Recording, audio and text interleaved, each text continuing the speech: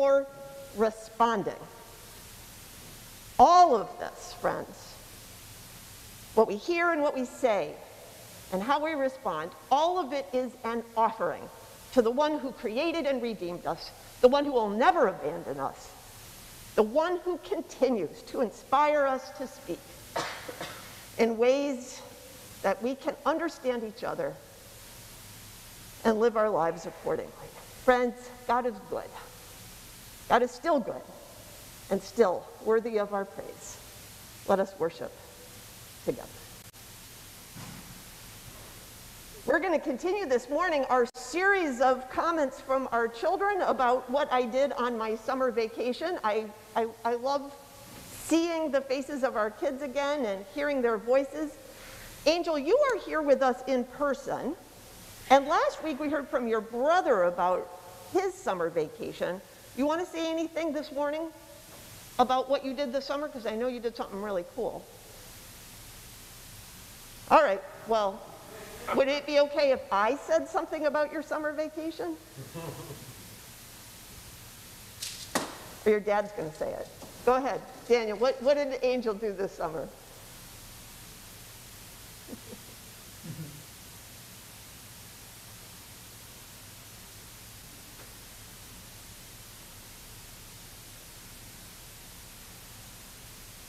Okay, we're getting a word? Well, I'll tell you this. Angel went somewhere really cool. She went to summer camp. And if you want to hear more about that, ask her in person. And with that, uh, here's a, a, video with uh, three more of our Sunday school, four more of our Sunday school kids sharing a few words about their summer.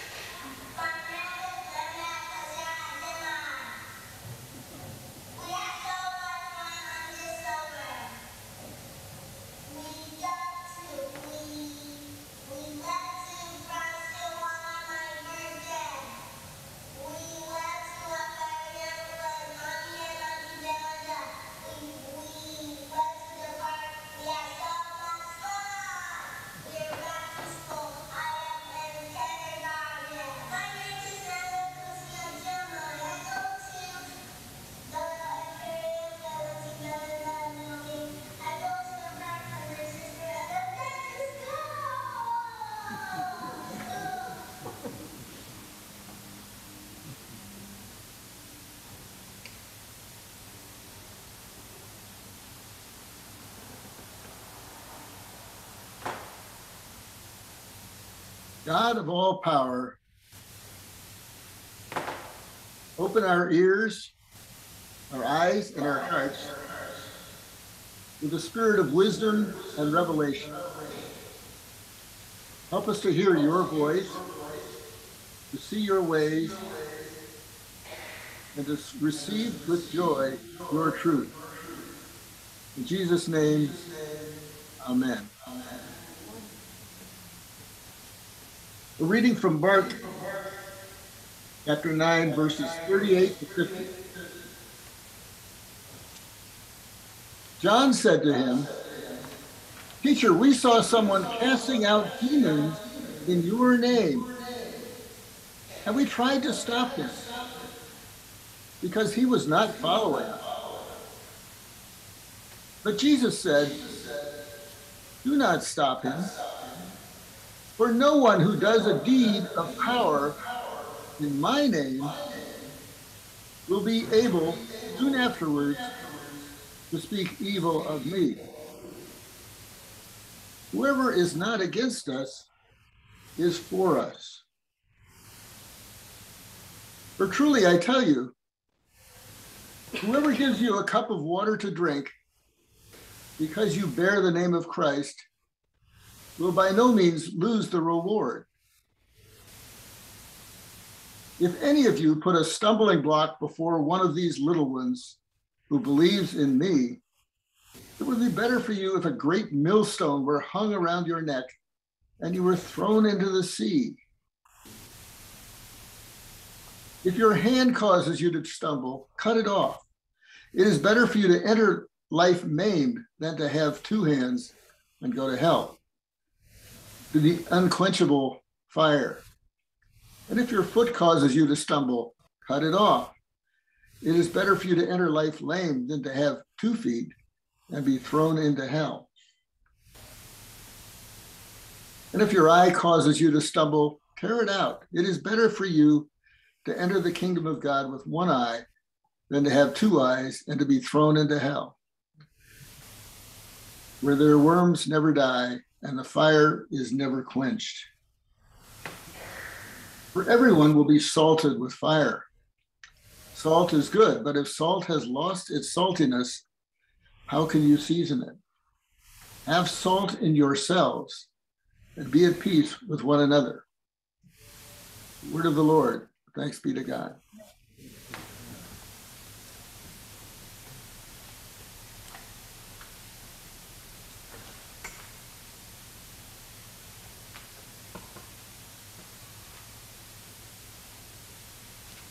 Well, friends, this is one of the scriptures where there's enough for a four week series.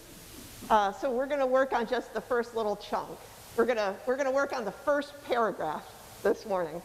But even to take that on, we need uh, the help of God. So let's pray uh, as we prepare our hearts to reflect on those words.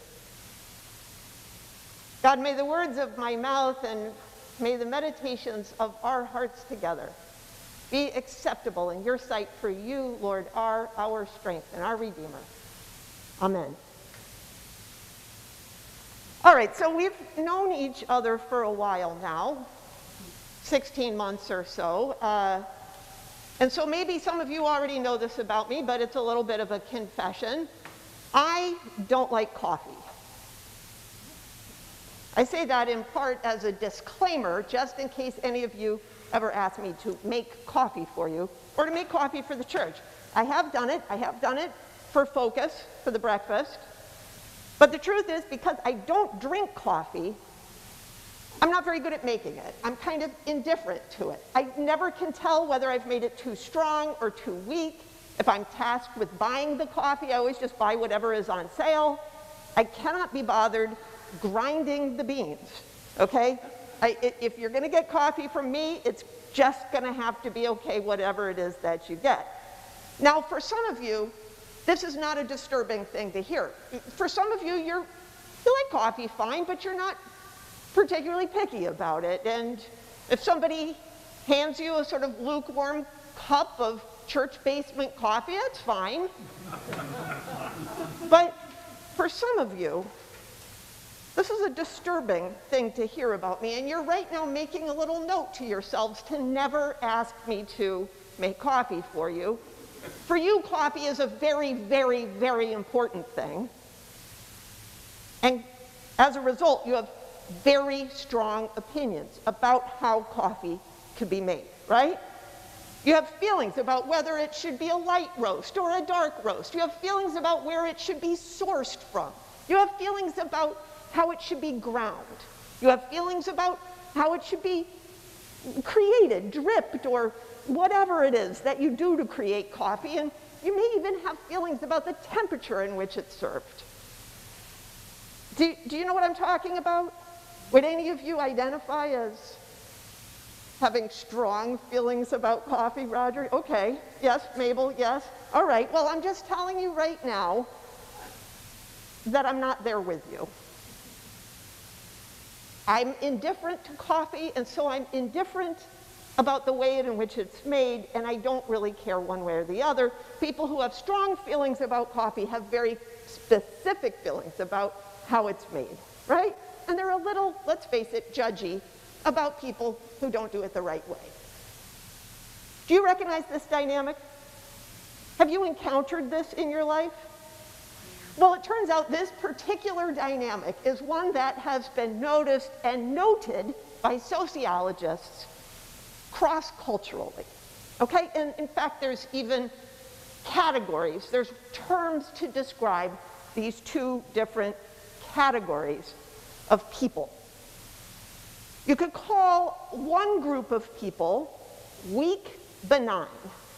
This is in terms of preferences. This isn't in terms of the people themselves. But weak benign are people who have a weak preference on an issue. And so they also have a benign relationship with people who have different preferences. Are you with me?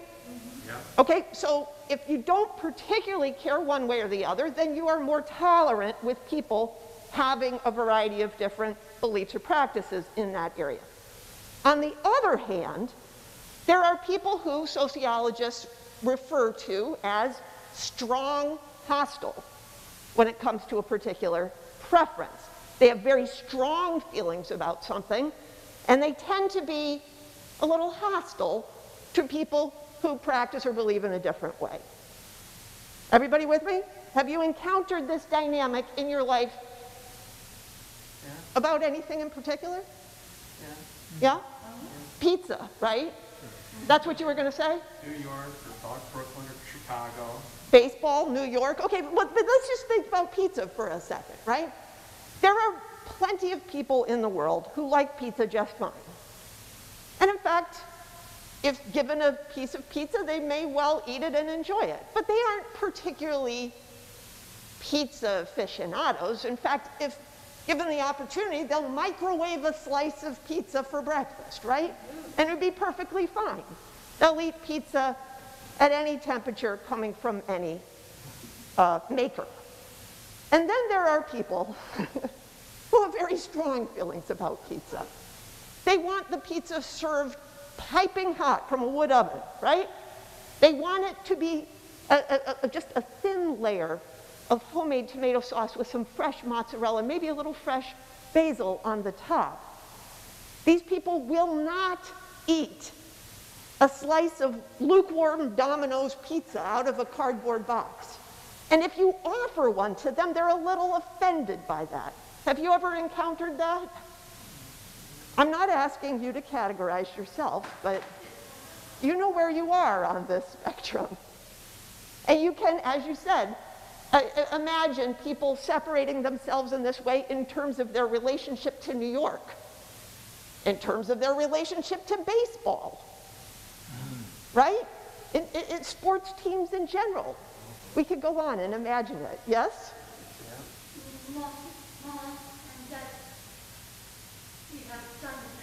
Yes. You, you, you have strong preferences around baseball, and you have the team that you root for, Sheila. And opposing teams are not really okay with you, right? Yes, Valley Cats. And that's where it's going to be. You, my friend, are strong hostile when it comes to the Valley Cats. Okay? No, it's okay. I'm not judging. This is just a good thing to know when we get to know you, right? Yes, absolutely. So here's the thing. You can also group people this way around politics. Okay? There's people who have very strong feelings politically. And those people tend to be, wait, I'm on this side. This is the strong hostile side. Yeah. That, that people who have very strong opinions about politics are less tolerant of people who have opposing beliefs. And that is true wherever you are on the political spectrum. Now, if you meet somebody who's extremely politically tolerant, there's a very good chance that if you inquire, they actually have less passionate, less particular political views of their own. Notice that? Yeah? And of course, this holds true for religion as well. People who are very, very religiously tolerant, who are completely open to whatever people believe, whatever people practice, tend to be less strongly affiliated themselves. They can see both sides of the issue. They're interested in a lot of different perspectives.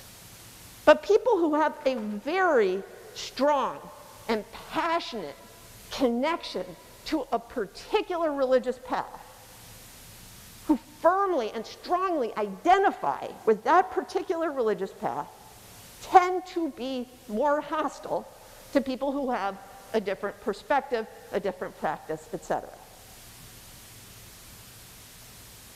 Has that proved to be true for you?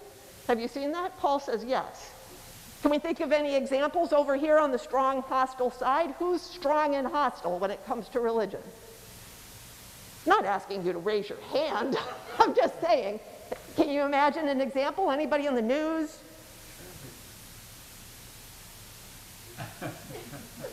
You're laughing because you can think of some people? Yeah. All right, who? Well, we got the Taliban over here, don't we? Some people who have been very strong about being anti-vax, pro-Trump, anti-people's having a choice. Yeah, okay, so we, we've got a group of anti-vaxxers over here. Mhm. And then in the weak benign, maybe there's people who are more accommodating to views from other perspectives, and they take in more information and they accommodate different viewpoints, and they tend to identify less strongly with their group. Okay, so here's the question Where do you identify on that list, on those sides? Where do you think Jesus is? Where does Jesus stand on that particular set of divisions? Is Jesus strong hostile or is he weak benign?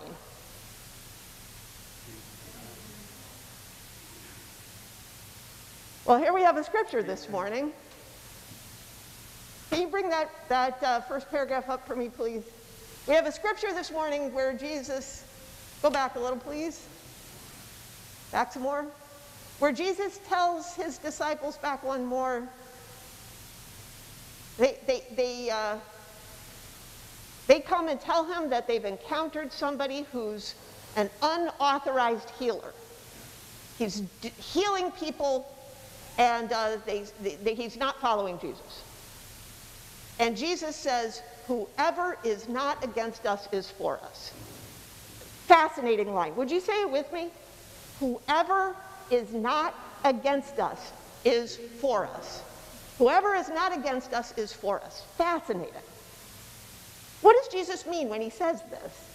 Is he, is he saying that he's okay with what this guy does and they should just let that guy do his thing and they'll do their thing, that we should have a kind of live and let live attitude towards other people? Is, is, is he saying that because this guy is doing a good deed, because he's doing a nice thing for somebody, he's, he's healing them, that good deeds are to be saluted wherever they show up, and what the point of his whole Jesus movement is, anyway, is just good deeds? Is that what he's saying? All right, well, if that's what he's saying, then Jesus is firmly in where? Weak benign. All right? However you come at the problem, however you come at the issue, it's all fine with Jesus. As long as you're doing nice things for other people. Hmm? Well, but then there's a lot of other things that Jesus says too. That's not the only thing Jesus ever teaches his disciples, right? I mean, after all, the whole Jesus movement is founded on a call to leave where they are, to leave who they are and to follow Jesus into a new way of being. Jesus tells them they, they have to die to their own existing life in order to, to, to rise again to a new life. He calls them to be born again, to be born a second time. Jesus calls them to completely overhaul their way of thinking. He calls them to be radically different in the world, to act in ways that they have never acted before, to connect with people they have never connected with before. He calls them to a change of life. Not just to a nice little activity that will make their lives happier and more satisfying. He's calling them to an internal and an external revolution. Amen? Amen? Okay, and if that's who Jesus is, then he's definitely in the strong category of identity and preference. So, what are we going to do with this passage? Whoever is not against us is for us. Well, Mabel, you're onto something here. It appears that in this passage, Jesus is standing outside of categories that we use. He's somehow stepping once again out of the either or oppositions that we create for our thinking, for our sorting out people. And he's stepping above those, beyond those, into some other way of being because he's strong, but also open. How can that be? Can we follow him there? Is there a way to have a strong, clear Christian identity without becoming hostile to everybody else who practices or thinks in a different way? You ever wonder about that? Is that a question that you have asked yourself? Well, this passage is a fairly helpful one for entering into that discernment. But in order to understand this passage, we need to understand two things. Number one, we need to understand what Jesus understands healings to be. What are Jesus' healings all about? As you know, there's, there's, there's plenty of stories in the Gospel of Mark and in the other Gospels as well of Jesus coming and healing lepers and blind people and women with hemorrhages and all sorts of people. But here's the thing when Jesus first shows up in Mark and in the other Gospels as well, he tells the world what his mission and purpose is.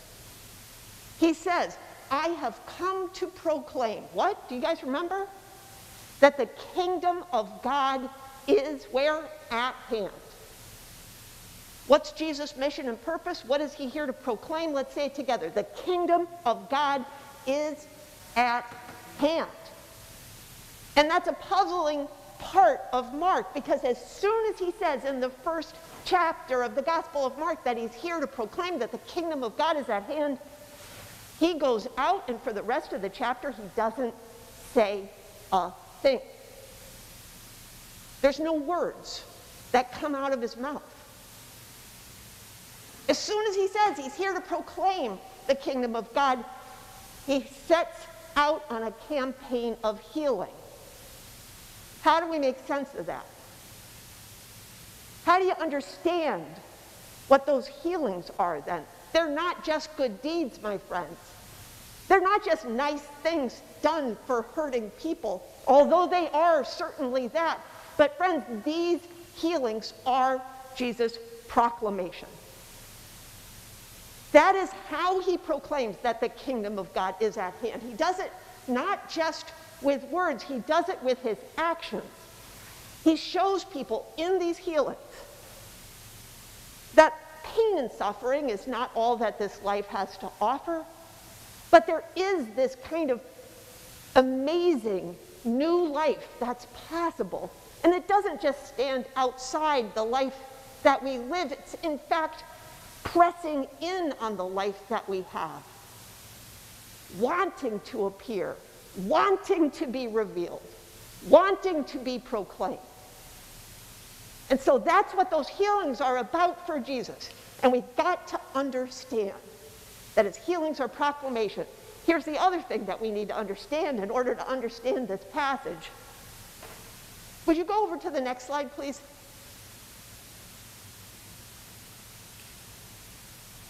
He says, For truly I tell you, whoever gives you a cup of water to drink because you bear the name of Christ,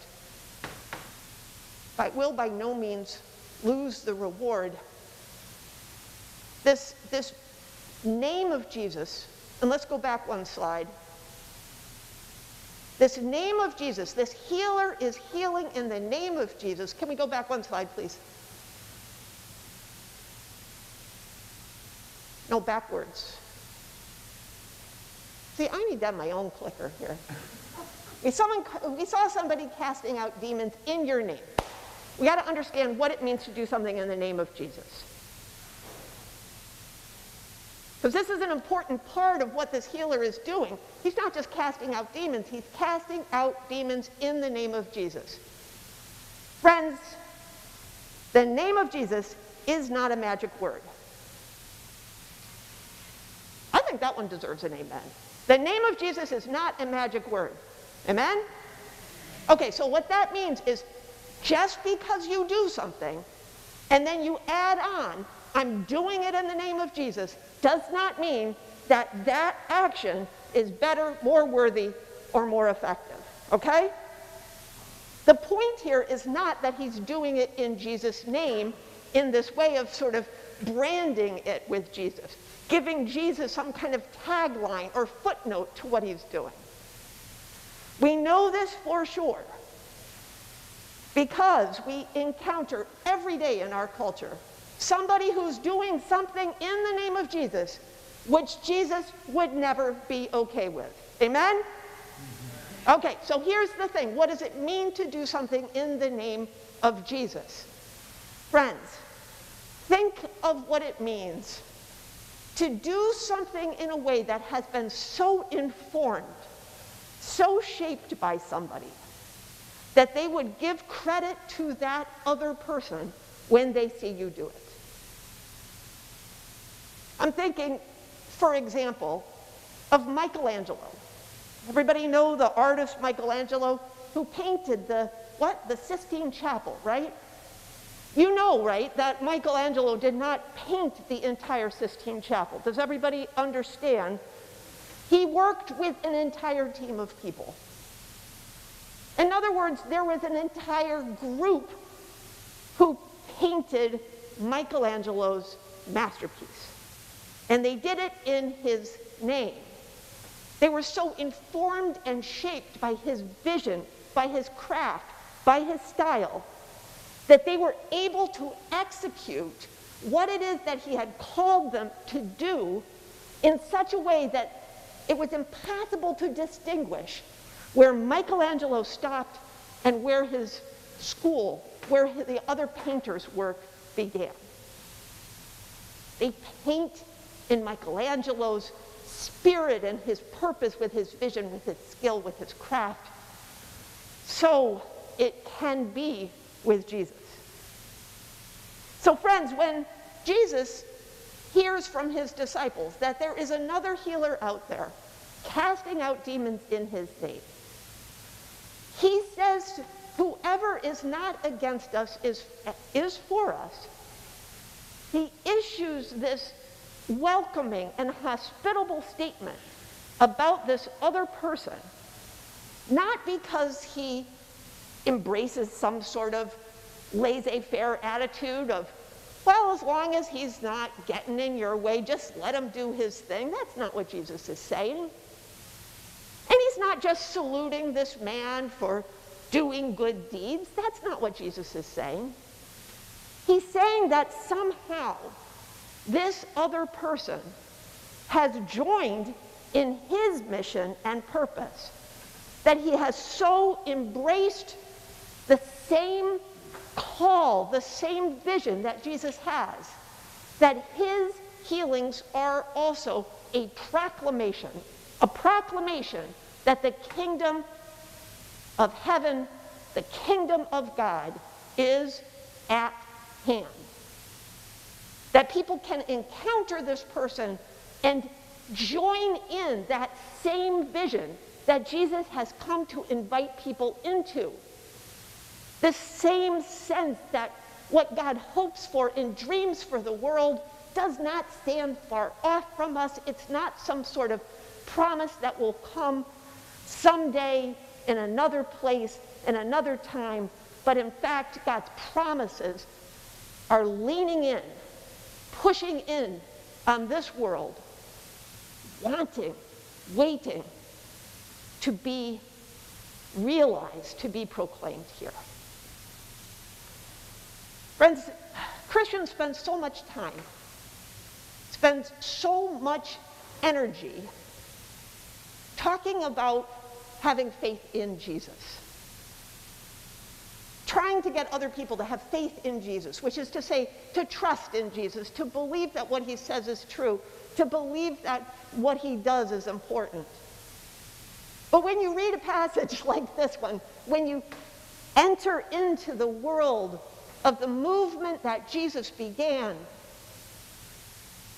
you find yourself called not just to have faith in Jesus, but friends, to have the faith of Jesus. The faith of Jesus, to believe what he believed, to aspire to what he aspired to, to envision for the world what he envisioned, and to proclaim with your words and with your actions that that is not some far off hope or wish or dream, but that is, in fact, what God wants to make happen here and now. And so when we pray, Thy kingdom come, Thy will be done on earth as it is in heaven. When we say that prayer again and again, we are training ourselves to join in the faith of Jesus. And those words, friends, are the words that help us. Those words that lead us, that form us and shape us to be strong and passionate followers of Jesus who make room in our lives and in this world for all that God is making happen. And when we see it, we proclaim it. And when we see it, we welcome it. And when we see it, we make room for it because we know that the kingdom will come, not just on heaven, but on earth, which is to say that God yearns. And Jesus joins in that yearning and calls us to join with him. God yearns for, he yearns for, we yearn for a world so transformed and so renewed that there is room to celebrate all of those who heal, that there's room for the Samaritan, that there's room for the lost brother, that there's room, friends, for you, and that there's room for me. Thanks be to God.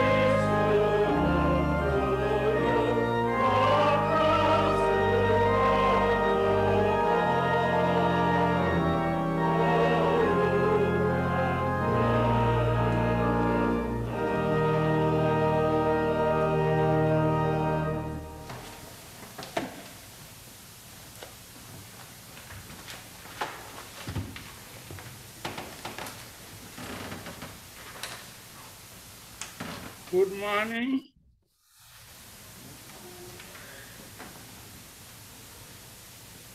Uh, we are now having prayers with our partners in Ghana.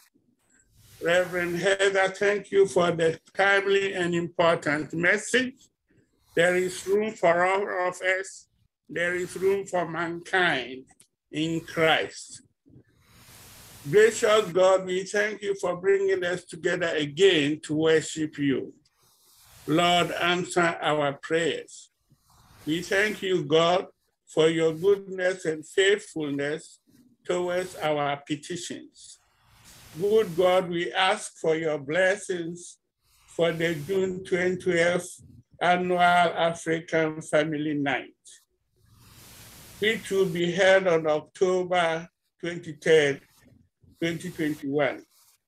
Even though it is a virtual Zoom event, we ask for your good, for good participation, generous donations, and overall success. The Presbyterian Church USA, Ghana's Mission Network, is also holding a virtual Zoom 20th annual meeting on October 16th. We pray for fruitful deliberations. We are grateful to God for a successful send-off of Reverend Kwajo Osebonsu and arrival of the new minister, Reverend Samuel Anan Ofoli. We pray for God's grace upon him to successfully lead his church, the Redemption Presbyterian Church of Ghana in Tema. We pray for all oppressed Christians in the world. We pray for our fellow believers in Afghanistan, who often must keep their faith in secret, even from family members and friends. Pray that God will help each Afghan believer to connect and fellowship with at least one other believer in some way. Pray that God will remind them that they are not alone, but they are part of the global body of Christ. We pray for spiritual unity in the church and among the leadership of the church. Lord, give our leaders courage to speak matters of your heart and not to seek to please humans. Pray that the Lord will strengthen our leaders and endure to endure temptations and stand firm against accusations. Pray for the absence of division, strife, misunderstanding among the church leaders and the membership.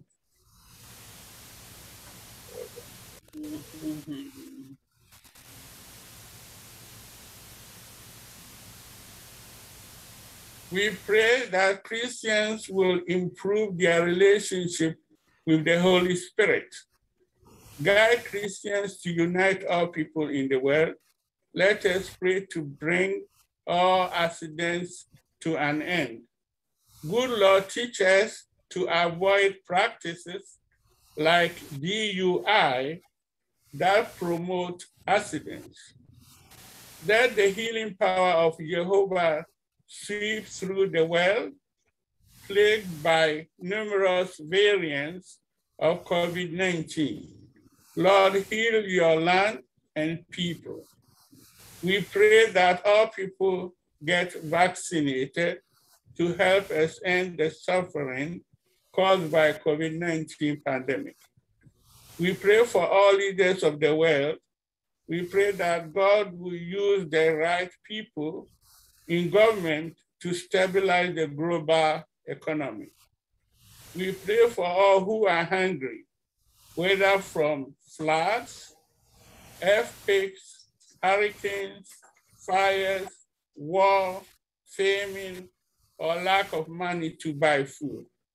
We pray that God will be with each person so that they may find nourishment to sustain their health. Now we are coming to prayers of the people. The prayers of our partners are also our prayers. Lord our God, protect, protect and comfort those who were left behind in Afghanistan, even though they wanted to be evacuated because they don't feel safe in that country. We place in your hands, O oh God, the thousands of refugees from Haiti and other South American countries at our southern border. Please protect and comfort them and help them find refuge. We pray for the leadership of our church and our pastor, Reverend Heather. Good God, guide, guide them to lead us to, to your satisfaction and success.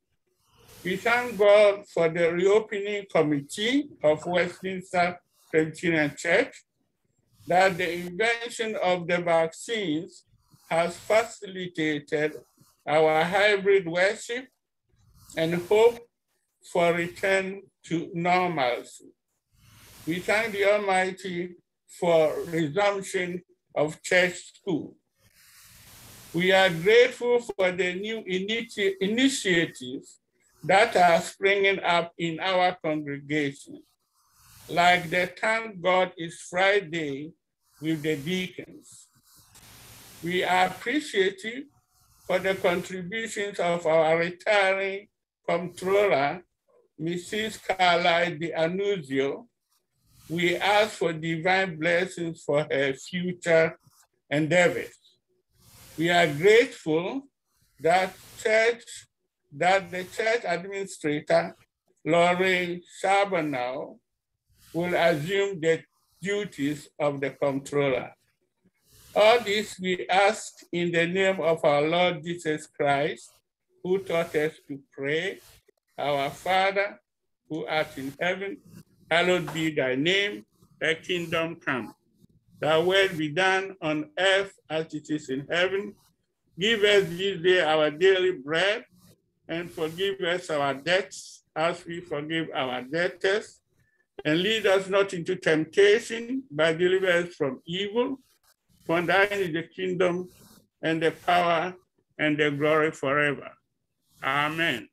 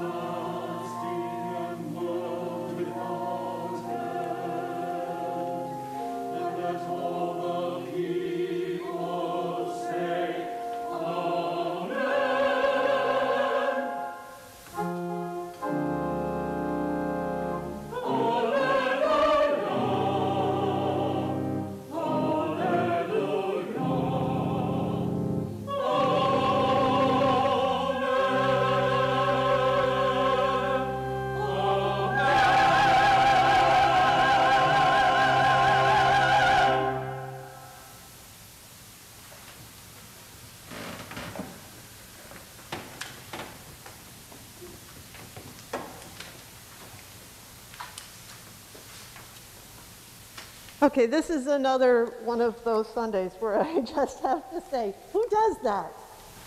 Who sings like that with masks on? Oh my God. Sharon and Margaret and all of the choir, we are so appreciative. It was, it was so beautiful. I know Presbyterians don't clap, but I give you a, a, a virtual and emotional standing ovation. wow.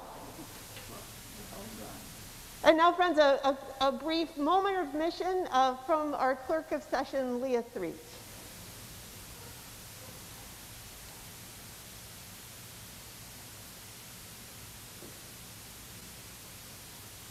During our September meeting, session approved a resolution brought to us by Westminster's Earth Care Team. It states that every decision made regarding supplies, infrastructure, and ways of doing everyday business will be analyzed to determine its impact on climate and the environment.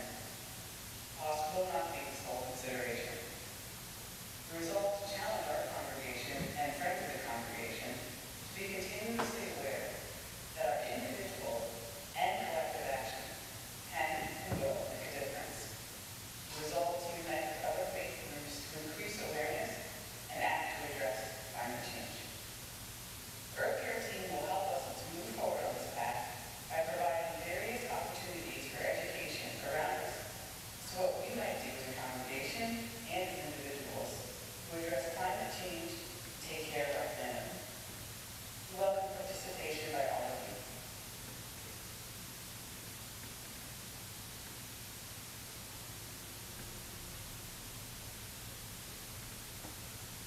Now, uh, Tom, our lay leader, would you like to say a, a brief word about uh, our offering? Yes, I would, Heather. Um, I want to confess what everybody already knows. I am a creature of habit. So prior to the pandemic, prior to the pandemic, I kept the little box with the envelopes in my sock drawer. Every Sunday, when I go to get a clean pair of socks for church, I see the box and I remember to pull out an envelope.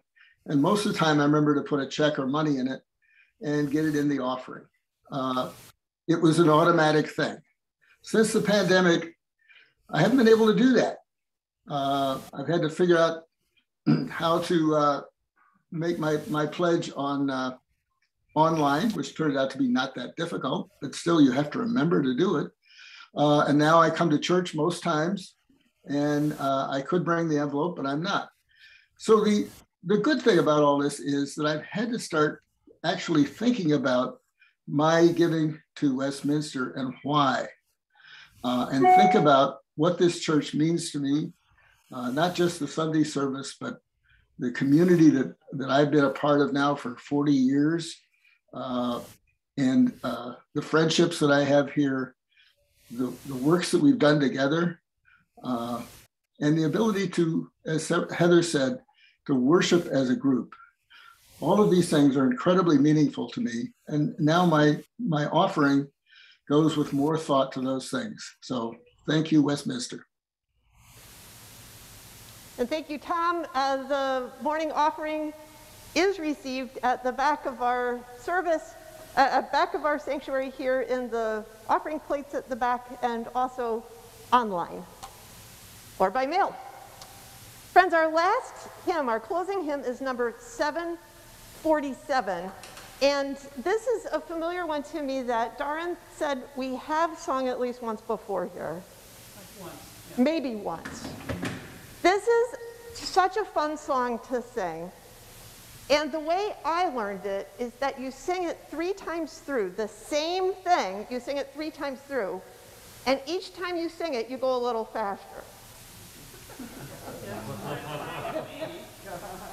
Margaret, are you game? We'll try. Okay, we'll see if Margaret's working up a sweat by the end of it. But we'll, we'll take it nice and easy the first round through. And I always feel that you should shout Olé by the end of the, the whole thing. That, the Olé is optional. And the sections are repeated, just so you know, so it's The like sections are A, repeated. A, then B, B, and then we go back and do it all again. Yeah. Hopefully we won't get lost, but we've got this fabulous choir to lead us through. We'll figure it out. Okay, we're figuring it out as we go. Let's stand and sing The Lord now sends us forth, number 747.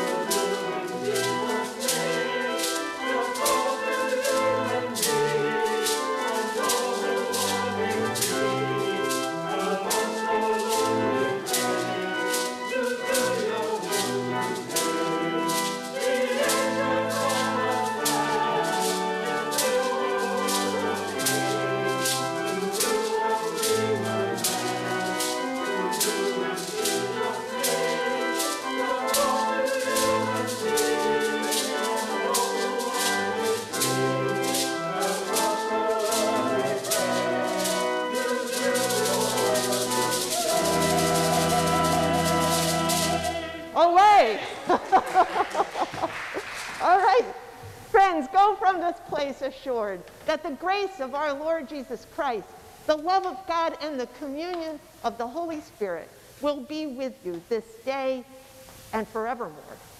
Go in peace, serve the Lord, and let's say together, thanks be to God.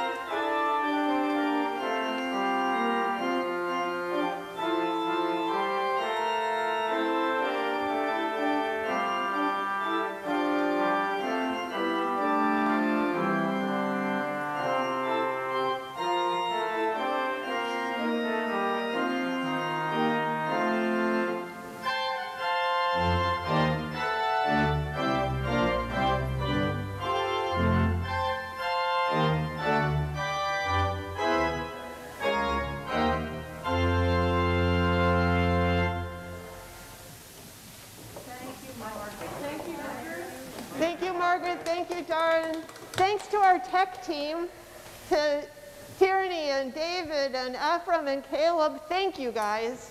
We had uh, adversity overcome this morning, and I really appreciate your being there for us. Hey, listen, a, a couple of really quick announcements. Um, this afternoon, uh, uh, Andrea Holroyd is going to be installed as you mentioned, Sheila, is the pastor of the Schoharie uh, Presbyterian Church. And uh, Judy Hartley uh, and I will be going out, and I'm guessing you guys might be there as well. But Andrew was ordained in this, uh, at this church, in this building. Is that right? I'm sorry? Andrea was ordained here. Yes, yes, you are. Yes. So I think it's really terrific to celebrate her installation as well. And uh, I just wanted to send a shout out about that. I hope you all saw the announcement that there's going to be a bonfire at John Boston's house in Delmar on Saturday. John is going to sell his house, and he has such a great spot for a bonfire.